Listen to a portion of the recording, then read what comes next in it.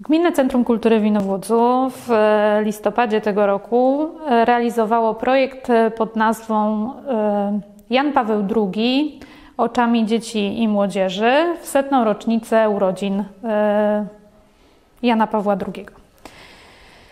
E, w ramach projektu, który finansowany został z, ze środków Łódzkiego Domu Kultury w ramach współorganizacji wydarzeń kulturalnych, w województwie łódzkim.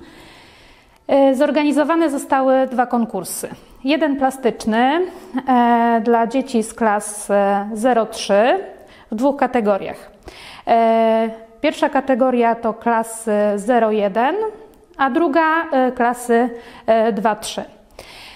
Ponadto zorganizowany został konkurs wiedzy na temat życia, e, działalności pontyfikatu świętego Jana Pawła II, e, również zorganizowany w dwóch kategoriach. E, pierwsza kategoria dla młodzieży klas 4-6, a druga kategoria dla młodzieży klas 6-8. W każdej kategorii i w każdym konkursie wyłonione zostały trzy osoby, przyznane trzy nagrody na pierwsze, drugie, trzecie miejsce. Ponadto w konkursie plastycznym e, zostały również w każdej kategorii e, przyznane wyróżnienia. Każda e, ze szkół, ponieważ w projekt zaangażowane zostały szkoły z terenu gminy Inowłódz, z każdej szkoły prace zostały osobno oceniane. E, z takiej racji, że e, w czasie pandemii trudno by nam było e, ocenić to w inny sposób. Konkurs wiedzy przeprowadzony został online z racji, wiadomo, panujących warunków.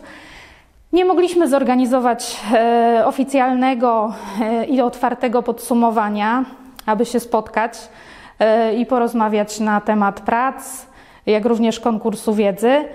Dlatego e, informacje przekazujemy również online. Wyniki konkursu poznacie Państwo e, w tym oto filmie. Serdecznie dziękujemy e, szkołom, Szkole Podstawowej w Brzustowie, w Inowłodzu oraz w Królowej Woli, uczniom za udział w obu konkursach oraz nauczycielom za zaangażowanie i nakłonienie uczniów do udziału w konkursie. Serdecznie dziękujemy.